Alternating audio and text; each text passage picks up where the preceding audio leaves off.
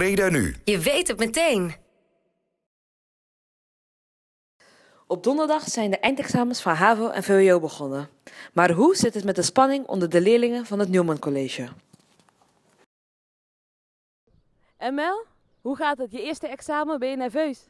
Uh, niet heel erg nog, want mijn eerste examen is Nederlands en daar ben ik op zich wel goed in, dus dat valt wel mee.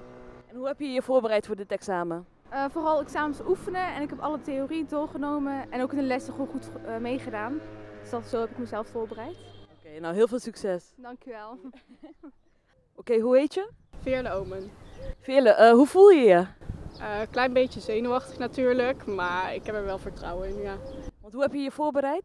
Uh, vooral oude examens geoefend en nu heb ik natuurkunde en formules weer doorgenomen en zo. Oké, okay, Succes! Ja, dankjewel.